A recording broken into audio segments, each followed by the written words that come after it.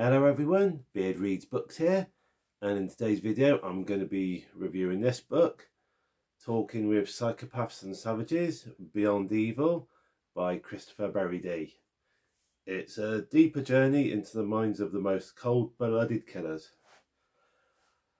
I'm going to be honest guys, I couldn't finish this book. I got to page 70 and I gave up. It was just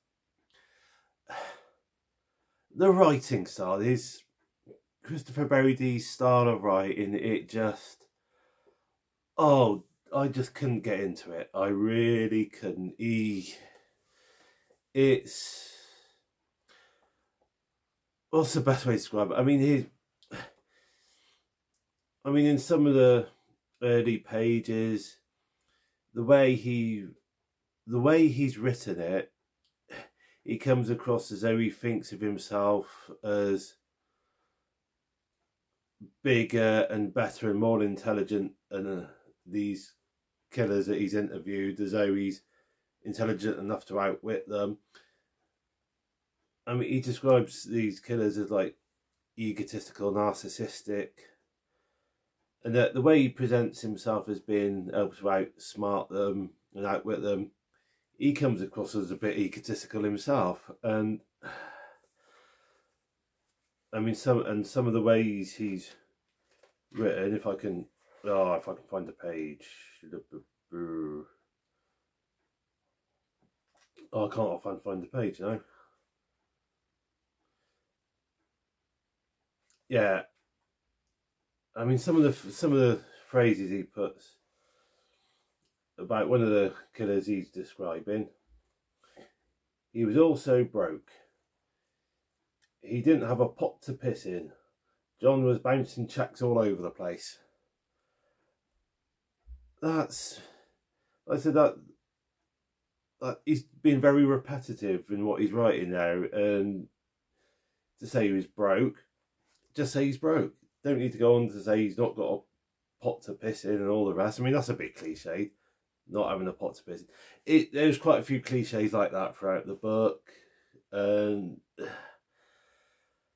yeah, I mean, it, I just couldn't get on with the the writing style, and yeah, I mean, my view of this book, this is the kind of book that you find in the bargain section, uh, a motorway service station you know, when you're on your way on a holiday, you know, you you're bombing down the M5 on a holiday to the West Country and you stop for petrol and you see this and you think, oh, I'll buy it, it's cheap, I'll buy it for the to read on the holiday.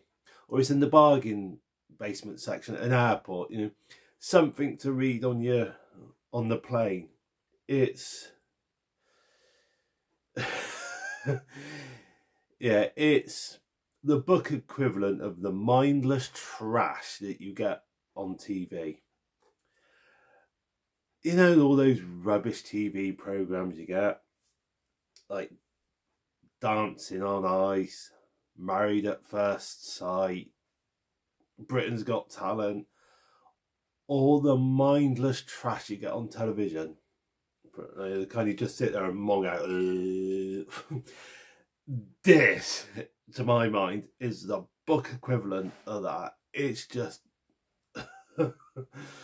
mindless drivel for the mindless masses. That's what this book is for. Don't bother, guys. Honestly, that is my view. My my personal view of this. Don't even bother. I mean, if you get given it for free, then fair enough.